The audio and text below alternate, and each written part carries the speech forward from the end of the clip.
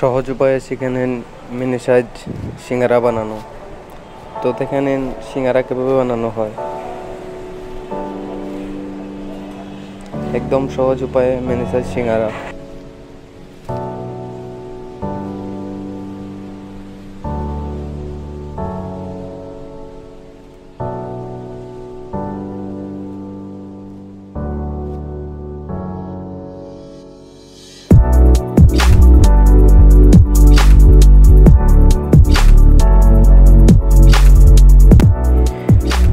এই দেখুন mini size সিঙ্গারা, একদম ছোট ছোট আকারের। তো এটা এখন তেলে দিয়ে দেব। তো সিঙ্গারা এখন ভাজা হচ্ছে। ভাজা প্রায় একদম শেষ। তো সিঙ্গারা ভাজা শেষ হয়ে গেছে। তো এখন আমরা নামিয়ে নিচ্ছি সিঙ্গারা।